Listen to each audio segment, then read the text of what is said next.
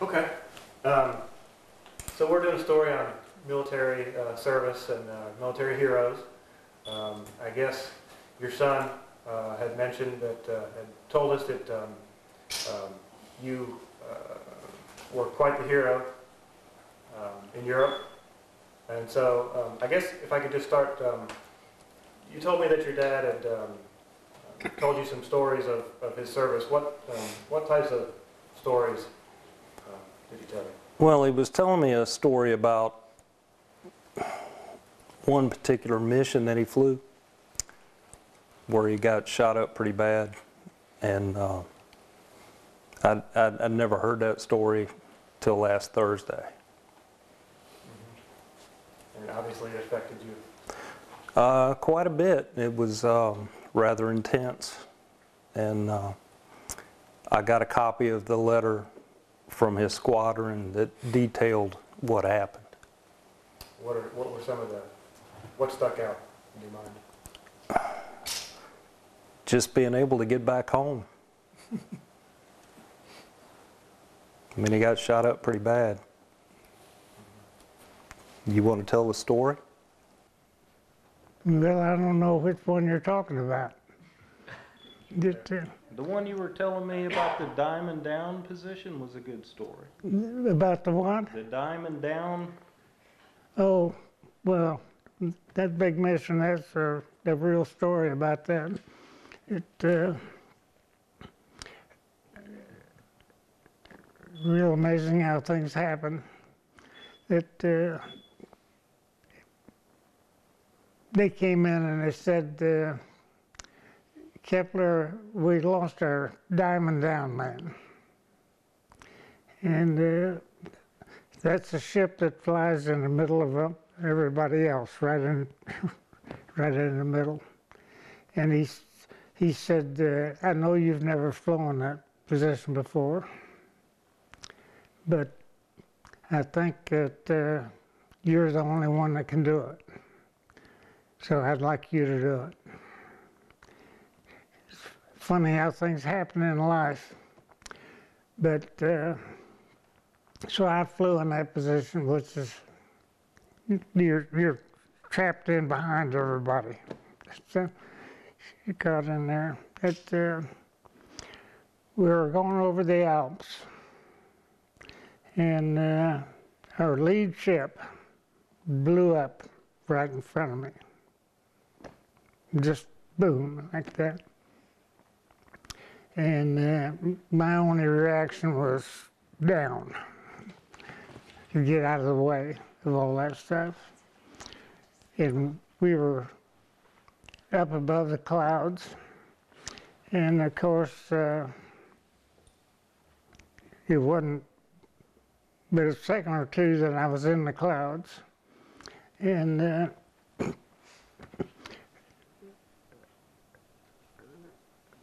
started picking up ice right away. So I couldn't see anything anyway. And uh, so I, I tried to climb back up and uh, to get back up out of the clouds, and uh, they wasn't going to do it. And I called my bombardier and I said, "You got to get rid of all these bombs." And he said, "The bomb bay doors won't open; they're frozen." So uh, I said, "Drop him anyway," which he did. And of course, with the bomb bay doors open, all that air come up through there. What a big mess that was. And uh, tried to climb back up, and uh, of course, I couldn't see. Ice all over everything. So strictly flying instruments. And uh, so I called uh, my navigator, Paul Corkill. And I asked him, I said, Paul, have we got any chance at all of getting back to the, over the Alps, back, get back home? Or do we have to go into uh, Nice and be interned for the rest of the war? And he, he said, I, I think we can do it if you can hold the altitude. And uh, it, what a big mess that was. Uh, he called me a couple times and he said, Kepler, you're off course. And I said, I'm having a hard time just flying this thing, let alone staying on the thing. Well, we couldn't bail out because if you bail out over the Alps up there, you're going to go down into the snow. You're going to freeze anyway. Then, so, but he, he finally told me, he says, I think we're okay, Kepler. And uh, you can start letting on down. And uh, he kept giving me headings to go on. How he did that, I have no idea, because he couldn't see anything either. And uh, so we were, we were down to about 5,000 feet. And uh, I asked one of the crew members back there, says, what you, can you see water down there? And he said, yeah. That was the Adriatic Sea. And uh, so we're flying down there, and my nose gunner, why he decided he wanted to do that, I have no idea, but he crawled down to the front and got up into his nose turret. And he rotated the turret, which broke all the ice off of his thing, and that came back up and broke the windshields out. So all of a sudden, all of a sudden here I got all this air coming in there. So, what a mess that was. So, but uh, finally the the ice started coming off and stuff. And I called back and talked to some of my crew members, and one of the crew members I called was he was crying. And here I am, 21 years old. and I told this kid, I said, son, just hang in there. In a couple hours, we're going to be on the ground, and you'll get a nice little drink of bourbon that they give you when you when you land. And uh, so, but made it all the way back to the base, landed that airplane, taxied up. And as usual, the, uh, the girls from the USO were there coming up and they give you uh, something to drink right off the bat. It, uh, it, uh, that was quite a mission. So, but as, as usual, I, I was never given any recognition for that. Even though what I did, I think, was pretty big. But uh, because our lead ship got 10 people gone, and, you know, he was, I forget what, uh, he was, he was probably a colonel or a major stuff. So I'm sure they were probably writing that up more than worrying about what I did. So, but uh, later on in, uh, I met somebody uh, when I was back in the States. A guy came up and says, Kepler, you know you got the DFC for that mission. And I said, I've never heard of it. He said, yeah, you, you got it. But at that time, I was trying to get out of the Army, jumping from place to place. And uh, so I never got the medal. So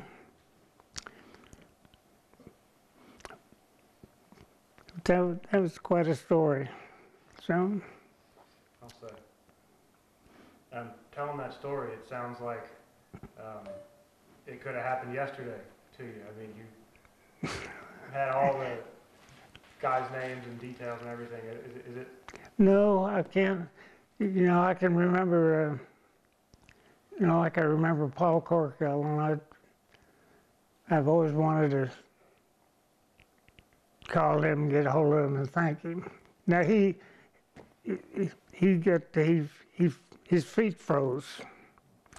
You, I don't know whether you knew what we were flying, but uh, it was uh, 30 degrees below zero most of the time. Uh, and we wore heated flying suits. And there was plugs uh, from, one suit into the boots. And if, if those got unplugged, uh, you had no idea whether that feeling that you had was cold or what. But he lost his uh, toes on that mission. So he got the Purple Heart from the, from the mission. So, yeah. But that was quite a story. So, Um,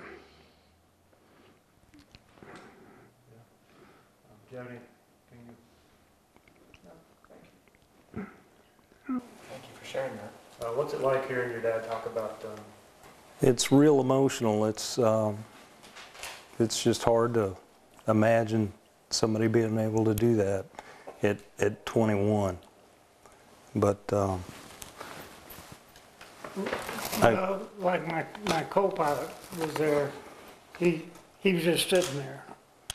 He, he wasn't doing anything. So I was just flying the whole thing all the way back. So, you think he was, um, he couldn't handle it, he was in shock, or? Uh, he was probably in shock. So it, uh, he, To be so young, I mean, to be 21 and in a situation like that, he what? to be, to be that young as, as you guys were and to be in that kind of situation, um, I guess that would affect you for the rest of your life. I mean, you remembered the story like it was yesterday. Hey, Pop, Yeah. tell them about asking your CO how many missions it took before you could go home.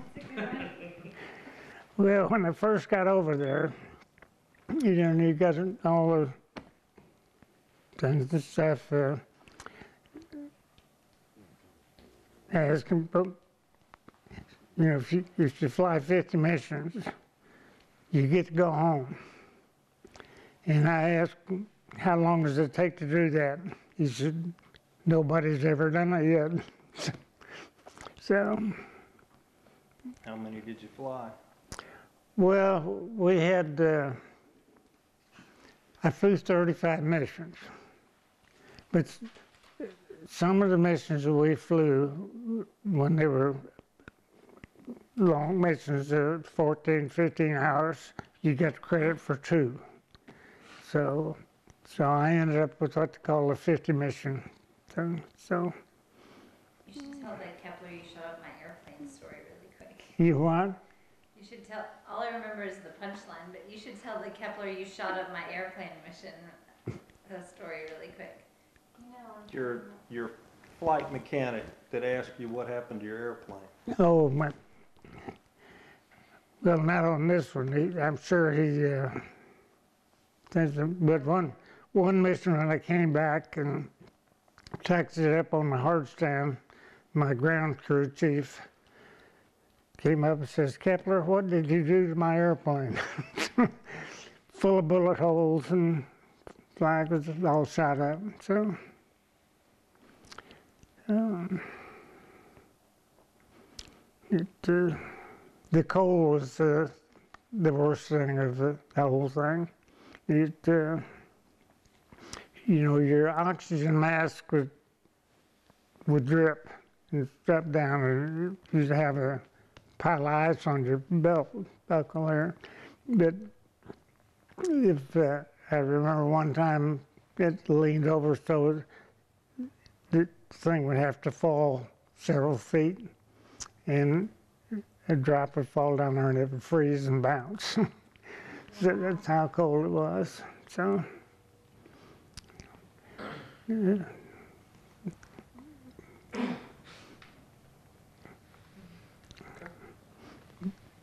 You ready? Sure.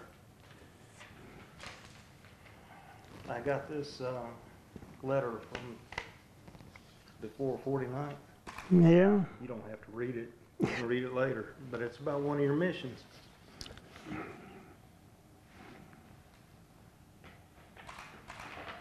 have your glasses if you want. Pop, this is about 69 years late. well, how in the world did you get that? So, so, well, listen, uh, you were seventeen This is ninety-six. important in that letter. Yeah, yeah, that, that's really something.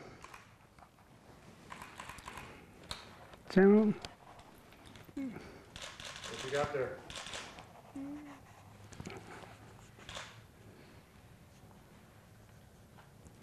yeah,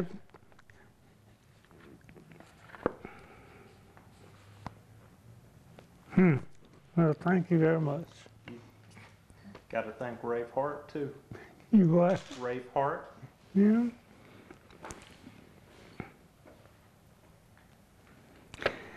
That's quite something. So, You're quite something. you want? You, you're quite something. Thank you, Daddy. Yes. Well, I often wonder, looking back on that, that uh, there's two things that was either lucky or good. So, but I always thought I was good. So, so yeah, How does it make you feel to uh, have the Distinguished Flying Cross? you say again. How does it make you feel now that you've got your, Oh, it, uh, well, they told, the guy told me that I got it, but I was on my way out of the, you know, I mean, so, he wanted to know how you feel now that you got it. well, that's it, I think it's great that I got it. It makes me feel good. So,